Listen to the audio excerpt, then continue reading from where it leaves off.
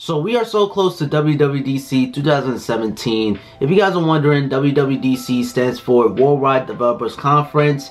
And basically this is the time where Apple discuss the software.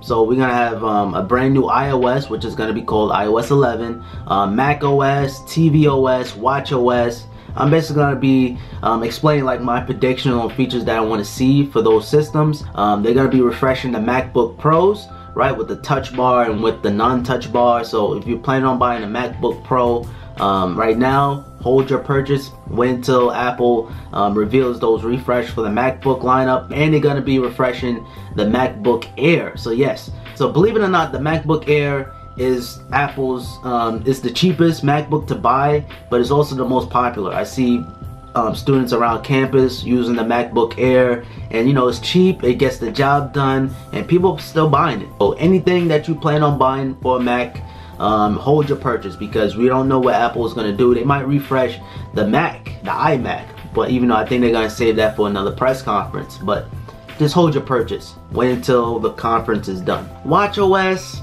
yeah I mean my watch I really don't use it too much but you know maybe refine watch OS a little bit such as like um, on the home screen kind of give us like a wallpaper. So whatever is on your iPhone maybe can like mirror it from your watch so it could be like a nice little blurred wallpaper. That would be pretty cool. And I think that will kind of refine the watch and kind of make it more together in a sense. Another thing too Apple bring back the glances. Now I kind of do miss the glances and basically that allows you to swipe up from the bottom and you can actually like control your music and you can have like certain apps and like I love that. It's basically like control center. And yes you still have it with this but they kind of took away some features. Now for tvOS I'm not an owner of an Apple TV just yet but just judging by all the commercials and seeing all the videos on YouTube maybe they can add like some kind of notification center to um, tvOS so maybe if you get a text message from your phone maybe your phone is on your charger already. Maybe you don't want to get up and and you know reply to that text have it come up to your TV and call it a day and maybe you can reply to certain texts. Make it an option because sometimes maybe if you're watching a movie with your girl or family, sometimes you don't want that message to pop up at a wrong time. Maybe it might be a pic that your chick or your girlfriend might send you. You guys know what I mean. If your chick send you a picture, you probably don't want the whole family to see while you're watching like a kitty or friendly movie or something. But yeah, just just make it an option. Just give us the option to do that or show notifications. Or just very, very similar to the Watch OS um, have like a little red dot. I think a little red dot on the top of the screen would be nice to let you know that you have a notification to check. So that's for tvOS and maybe add a Safari. But like I said, I'm not an owner of um, the Apple TV 4. Now in terms of Mac OS, now I feel like the Mac, I think it needs like a redesign again. Now, I feel like it should match it with iOS. You guys might agree with me, you guys might disagree, and I know some of you guys have been using Macs for years, so you guys kind of appreciate this design, but I feel like they should redesign this, kind of make it look like iOS with like some of those menus, kind of like have it like that white, but you can also have like the option to have it like a dark mode system wide having this white can you know harm the eyes a little bit and yes night shift does help but sometimes things could still look bright. So um, yeah, so Apple give us a dark mode. And really and truly for my Mac, I really don't use too much features like that. Um, I have Flux installed instead of using Night Shift and I like Flux better because it actually enables dark mode when the Flux is on. So, I, you know, it has two things enabled. I like that. Um, that kind of integration. So hopefully Apple can have something like that if they add in dark mode.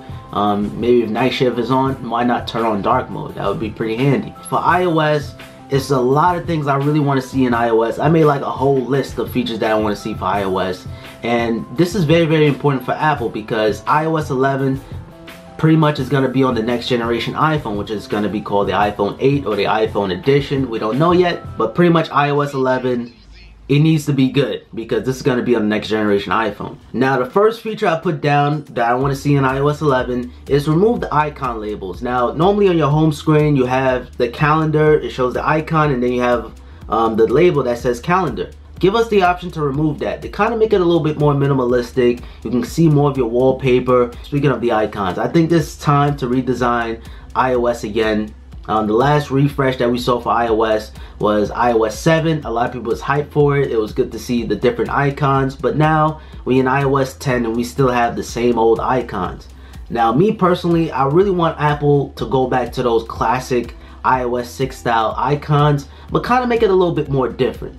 Since this is the uh, 10 year anniversary of the iPhone, kind of go back to those classic old icons, but kind of make it a little bit more uh, modern in a sense. It's hard to really explain it, but bring back those classic icons for the anniversary of the iPhone. That's just me. I love those icons. It was very, very in-depth and it's just nice. And animations, I really do miss iOS 6. Now, the next thing I want to see in iOS 11 is a low power mode toggle on the control center. Now, um, don't you find it annoying how you gotta exit, stop what you're doing, um, go to settings, battery, and then enable low power mode? Why can't we just swipe up from the bottom and just enable low power mode right there on the fly? We need that toggle so much in iOS 11 because we constantly want to save battery throughout the day and you guys understand the battery struggles of the iPhone. Now speaking of control center, I really want Apple to go back to that one page style um, control center. You could just swipe up and everything was just right there. You have your media controls, your toggles, your brightness, your volume slider, everything was right there on one page. Now in iOS 10, you have two pages. You have one for your toggles and your night shift and all of that. And then when you swipe over, you have your media controls. I just feel like having everything all in one keeps things a little bit more simplistic. When you try to lower down your brightness, sometimes it automatically swipes to the next um, page of the control center, which is the music controls. I find that so annoying. Now, another thing too I put down is bring back the iOS 9 um, Apple Music player style. The ability where everything was just like blend into the album artwork, so everything was colorized to match with the album artwork. Um, and I really do miss the ability where you have like your history of all the songs that you played in the past. Um, they took that away in Apple. Um, they took that away in iOS 11 they took that away in iOS 10 and I don't understand why they did that. And just overall, the music player in iOS 10 just looks so big for no reason, bold. It just makes it seem like I have bold settings on even though I don't.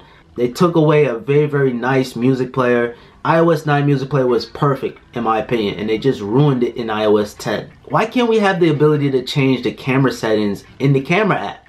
So why can't we change like the resolution, like maybe you don't want to record in 4K. You, you probably want to record in 1080p at 60 frames per second. I would have to go to the home screen, tap on settings, camera and photos, something like that, and just change the resolution like that and then go back into the camera app. Why can't we do all that in the settings app? Hopefully Apple can make that happen. And shout out to EverythingApplePro. Hopefully they can fix that little um, that little camera bug that they have on the iPhone 7 Plus. So hopefully they can fix that in iOS 11. Now next up, I really want to see this in iOS 11, but I feel like Apple is going to hold this feature for a future iOS 11 update, is dark mode. Now everybody's really anticipating and really want to see a dark mode to the iPhone or iDevices in general. And I know Apple can do it, but I feel like they're going to hold this dark mode feature um, for when the iPhone 8 or iPhone edition drop but probably make it like a future update, maybe like iOS 11.2, something like that. They're probably gonna bring us dark mode. But um, and you know, the rumors are pointing that the iPhone 8 will feature an OLED display. So the OLED display will really um, come in handy with the dark mode because with OLED, it turns off the pixels when it's dark. It's gonna turn off the pixels for um, individual um, areas. Um, and next up, I really wanna see like the slide overview have a search on the top. Now, sometimes I spend like two minutes searching for an app and it's hard to really find it sometimes. So hopefully we can be able to search it up on the top. Why not? Just add a search bar on the top, search up our app that supports some um, slide over or the split view and just search up your app and that's it. But for the most part, that's all what I came up with. There's so many more annoyances such as like the volume HUD, reposition the volume HUD, maybe up into the status bar. I know my brother was saying it's only there for one second, but that one second can really take away from that experience. And I feel like Apple should put the volume HUD onto the status bar. Why not? Alright guys, so that's pretty much all the features I want to see in iOS 11. I'm pretty sure there's so many features if I really sit down and take the time out to make a long list. But I'm pretty sure you guys have some more features. Share it down in the comments. So alright guys, until next time, it's your boy Pops and I catch you guys in my next video. And thank you guys so much for watching. Later.